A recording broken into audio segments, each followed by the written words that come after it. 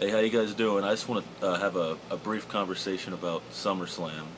Um, for starters, I can't really recall a SummerSlam that I personally enjoyed watching more than uh, this SummerSlam. Um, I, I, found it to be very entertaining from start to finish. Uh, so many good matches. Uh, a big sleeper great match to me was the Alberto Del Rio versus Christian match. That match was fantastic. I mean, I I'm never been the kind of guy that like gets up, you know, and stands on my feet and like really gets into Christian matches, even when he was Christian Cage in TNA. But that match to me is my personal favorite match I've ever seen Christian in. You know, usually when I see Del Rio, I usually try to hit that fast forward, or or Christian, I usually hit that fast forward unless he's on the mic because I love when he's on the mic. But I I never really enjoy him in the ring. But I'm gonna tell you guys right now, flat out, that match was fantastic. I enjoyed every minute of it. And uh, yeah, I mean Christian versus Del Rio. I wouldn't mind seeing those two guys go again. I like to see Christian have one more match at that title because I really per- personally really enjoyed that. Now, the CM Punk Brock Lesnar match.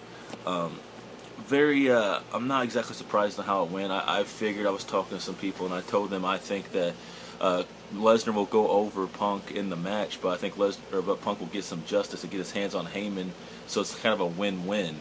And the way they did that is typical Brock Lesnar match style, where the guy he's facing seems like you know he should have won, but he doesn't. Uh, Lesnar has to have help, typical heel bully. Uh, but I I really that match was great too. I mean it, it was just it was good. Um, you know, the whole steel chair with the F5 on the chair and stuff was a great way to finish the match. So my hat's off to both of you guys for that match. That match was really good. Punk and Lesnar, great, great match. It really, it really was. Um, and I like, uh, I like how Lesnar finally has his Brock Lesnar symbol on his ring gear again. You know, like he used to. But so that's that's pretty cool. Now, um, on to the uh, main event. Well, actually, before we get to the main event, the only match I personally did not like that match or that much was uh, the the starting match, the Kane versus Bray Wyatt, and I'll tell you why. Um, Inferno matches always someone caught on fire, and that's how they lost. In this one, it was just a pinfall after being jumped.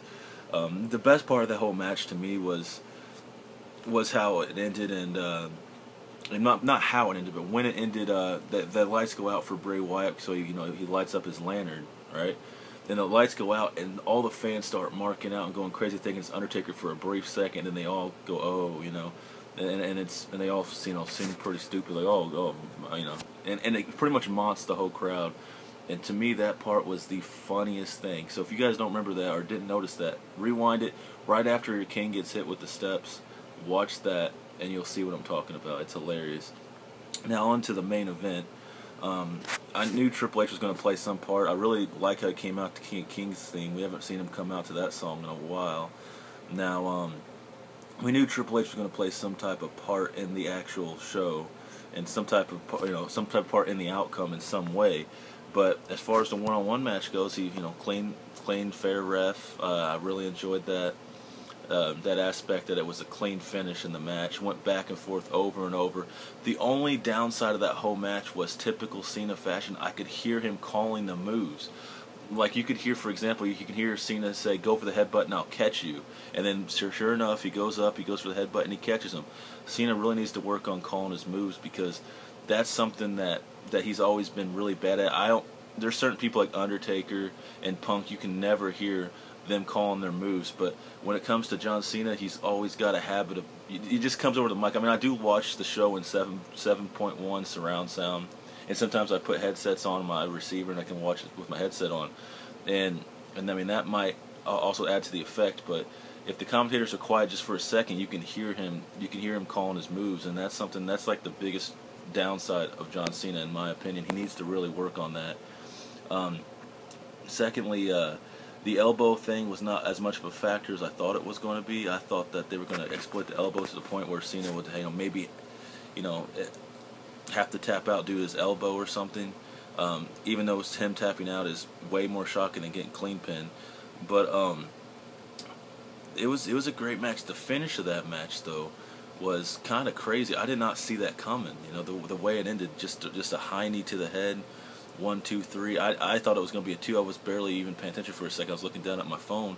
And like, what the heck just happened? He got pinned off that. So, I mean, that was really, really shocking and actually refreshing to have something new like that happen, something that you don't expect.